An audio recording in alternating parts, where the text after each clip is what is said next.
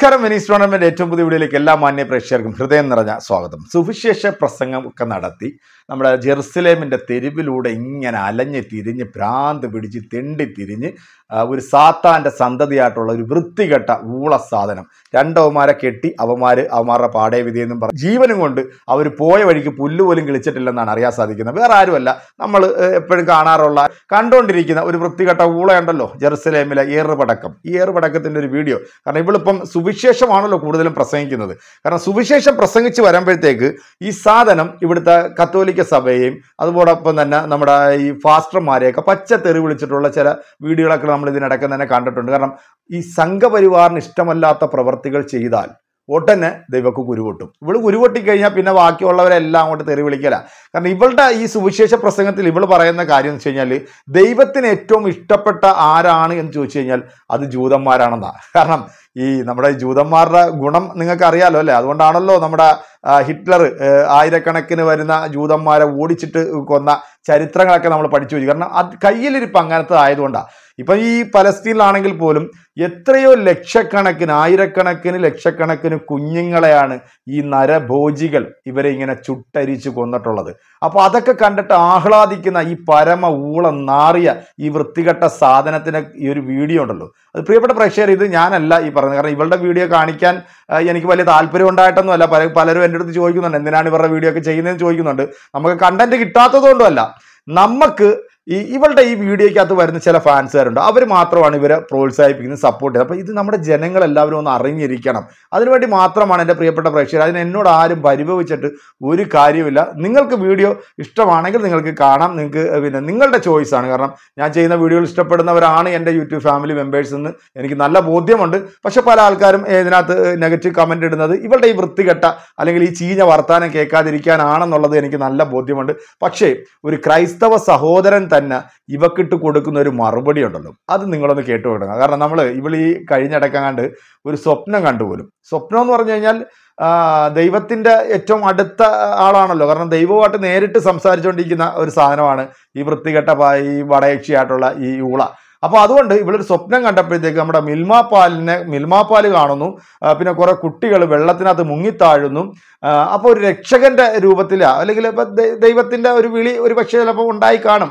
അപ്പോൾ അത് ഏത് തരത്തിലാണ് എന്നുള്ളത് അല്ലെങ്കിൽ ഈ സ്വപ്നം കണ്ടത് എന്തിനാണ് അല്ലെങ്കിൽ ഈ സ്വപ്നം കണ്ടത് എന്താണെന്നുള്ളത് നമ്മുടെ ഈ ക്രൈസ്തവ സഹോദരനുണ്ടല്ലോ. ഇദ്ദേഹം പറഞ്ഞു നല്ല കൃത്യമാക്കി തരും. ആ വീഡിയോ നിങ്ങൾ മുഴുവനായിട്ടൊന്ന് കണ്ടു കഴിയുമ്പോഴത്തേക്ക് നിങ്ങൾക്ക് മനസ്സിലാവും ഇവൾ എങ്ങോട്ടാണ് പൊക്കോണ്ടിരിക്കുന്നത് എന്നുള്ളത്. അപ്പോൾ നമുക്ക് ആ വീഡിയോ ഒന്ന് കാണാം അല്ലേ? കണ്ടു നോക്കിക്കോളൂ. ജെറുസലേം പുത്രി എന്ന റീന എന്ന സഹോദരി ഒരു സ്വപ്നം കണ്ടു. എല്ലാവരും അറിഞ്ഞിരിക്കേണ്ട ഒരു സ്വപ്നമാണ്. കണ്ണിന് പകരം കണ്ണിന് പകരം കല്ലിന് കല്ലി പല്ലിന് പകരം പല്ല്. ഞാനോ നിങ്ങളോട് പറയുന്നു. നിങ്ങളെ എന്ത് പറയുന്ന ദ്രോഹിക്കുന്നവർക്ക് വേണ്ടി പ്രാർത്ഥിക്കുവിൻ. നിങ്ങളെ ശപിക്കുന്നവരെ അനുഗ്രഹിപ്പിൻ എന്ന് പറയുന്നത് പോലും കർത്താവ് ആരോടാ സംസാരിക്കുന്നത്? ഇസ്രായേൽ മക്കളോട് സംസാരിക്കുക. ഇവർ സഹോദരങ്ങളാണ്. അപ്പോൾ ഈ സഹോദരങ്ങളായിട്ടിരിക്കുന്നവർ തമ്മിൽ തമ്മിൽ എന്ത് ചെയ്യാൻ പാടില്ല? കണ്ണിന് പകരം കണ്ണും പല്ലിന് പകരം പല്ലും എന്ത് ചെയ്യാൻ പാടില്ല? പ്രവർത്തിക്കാൻ പാടില്ല. അല്ലാതെ ശത്രുവിനെ പോയി സ്നേഹിക്കുവാനോ ശത്രു ദ്രോഹിക്കുമ്പോൾ ആ ദ്രോഹത്തിന് വേണ്ടി ശത്രുവിനോട് പ്രാർത്ഥിക്കുവാനോ അല്ലെങ്കിൽ അവനെ അനുഗ്രഹിക്കുവാനോ അല്ല പറഞ്ഞിരിക്കുന്നത്.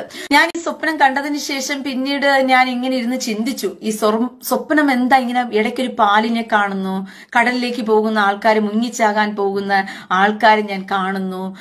ഇതൊക്കെ ഞാൻ ഇങ്ങനെ എന്തുവാ ഈ സ്വപ്നത്തിൽ ഞാൻ കാണുന്നു. ആദ്യം എന്റെ അടുക്കലേക്ക് ശിശുക്കൾ ഓടി വരുന്നു എന്നൊക്കെ ഞാൻ ഇങ്ങനെ ഈ സ്വപ്നത്തെ കുറിച്ച് ഒന്ന് ഇങ്ങനെ വ്യാഖ്യാനിക്കാൻ ഇങ്ങനെ ചിന്തിച്ചുകൊണ്ടിരുന്നപ്പോഴത്തേക്കും ഈ പാലിനെ കണ്ടപ്പോൾ എനിക്കൊരു കാര്യം മനസ്സിലായി. പാലിനെ ദൈവവചനവുമായിട്ടാണ് ഉപമിച്ചിരിക്കുന്നത്. വചനം. ഈ മിൽമായ കണ്ടേ എന്നുള്ളത് പിന്നീട് എനിക്ക് മനസ്സിലായി. മിൽമയുടെ മേളിൽ എഴുതി വെച്ചിട്ടുണ്ട് ശുദ്ധമായ പാൽ എന്ന് പറഞ്ഞ് എഴുതിച്ചിട്ടുണ്ട് അപ്പോൾ ഈ മജനം അതിനകത്ത് ഓരോരുത്തർ കവർ പൊട്ടിച്ച് പൊട്ടിച്ച് ഒഴിക്കുന്നതായിട്ടാണ് ഞാൻ കാണുന്നത്. ചുമ്മാ കവർ വാങ്ങിച്ചിട്ട് പോയാൽ മതിയല്ലോ. പക്ഷെ ഞാൻ അങ്ങനെയല്ല കണ്ടത്. ഓരോരുത്തർ കവർ പൊട്ടിച്ചിട്ട് അത് ഗ്ലാസ്സിലോട്ട് പകർന്നിട്ട് അത് പാത്രത്തിലോട്ട് പകരുകയാണ് ചെയ്തത്. അതായത് അവരെല്ലാം പറയുന്ന ഒരു ഡയലോഗ് എന്ന് പറയുന്നത് ഞങ്ങൾ വർഷങ്ങളായിട്ട് ഇവിടെ പാൽ മേടിക്കുന്നു. ഞങ്ങൾ വർഷം ഞങ്ങൾക്ക് കിട്ടാത്ത ഒന്നാം സ്ഥാനം ഇവക്ക് കിട്ടിയല്ലോ എന്നാണ് ഇവർ പറയുന്നത്. അവിടെ നിന്ന് ഞാൻ മനസ്സിലാക്കിയത് മുമ്പന്മാർ പിമ്പന്മാരും പിമ്പന്മാർ മുമ്പന്മാരുമാകുന്ന ഈ സ്വപ്നത്തിൽ ചില കുട്ടികൾ കടലിൽ മുങ്ങിച്ചാകാൻ പോകുന്നു. അത് റീന കണ്ടു. രണ്ട് ആ കുട്ടികളെ രക്ഷിച്ച് മലം ഉള്ള ഒരു സ്ഥലത്തിലേക്ക് കൊണ്ടുപോകുന്നു. ഇത് റീന ചെയ്യുന്നു. മൂന്നാമത് അവിടെ നിന്നും ചാടി റീന മിൽമയുടെ കവറ് പാലൊഴിക്കുന്ന സ്ഥലത്തിൽ പോയി ഒന്നാം സ്ഥാനം മേടിക്കുന്നു. ഇതാണ് റീന കണ്ട സ്വപ്നം. കണ്ണിന് പകരം കണ്ണ് പല്ലിന് പകരം പല്ല് എന്ന് നിങ്ങൾ കേട്ടിട്ടുണ്ടല്ലോ. ഞാനോ നിങ്ങളോട് പറയുന്നത്. എന്നിട്ട് യേശു പറയുന്നു ദുഷ്ടനോട് എതിർക്കരുത്. ശത്രുക്കൾക്ക് വേണ്ടി പ്രാർത്ഥിക്കണം. ഉപദ്രവിക്കുന്നവരെ അനുഗ്രഹിപ്പിൻ. ക്കാത്തവരെ സ്നേഹിപ്പിൻ. എന്ന് യേശുക്രിസ്തു മുപ്പത് അഞ്ചിന് മുപ്പത്തിയെട്ട് മുതൽ നാൽപ്പത്തി എട്ട് വരെ പറഞ്ഞ വചനങ്ങൾ ഇസ്രായേൽ മക്കൾക്ക് വേണ്ടിയുള്ളതാണോ എനിക്കോ നിങ്ങൾക്കോ ഈ തലമുറയിൽ ആർക്കും ഈ വചനം ആവശ്യമേ ഇല്ല.